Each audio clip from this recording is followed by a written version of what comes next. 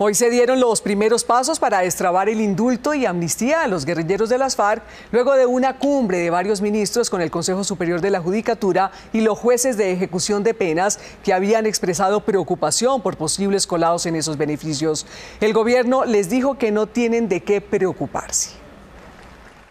El decreto que permitirá la salida de unos mil guerrilleros presos será sancionado el próximo lunes por el presidente Juan Manuel Santos. Con el decreto, los jueces de ejecución de penas deberán ordenar su libertad. Por eso el comisionado de paz les envió un mensaje. Ellos realmente no deberían tener ninguna preocupación en esa materia porque esa responsabilidad la asumimos nosotros, la asumo yo, porque nosotros tenemos un listado eh, de las personas que han sido acreditadas por la oficina del comisionado de paz con mi firma después de un proceso de revisión de cada nombre por un comité interinstitucional. Jaramillo dijo que a la fecha 1.700 guerrilleros ya recuperaron su libertad, pero que aún faltan más.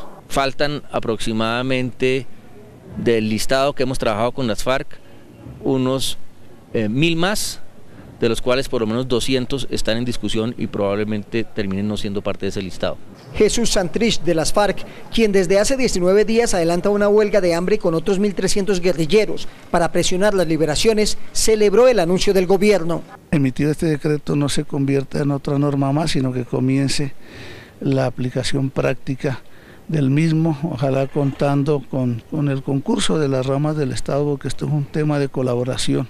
Horas después de estas declaraciones, Jesús Santrich fue hospitalizado de urgencia en la clínica Chayo en el norte de Bogotá.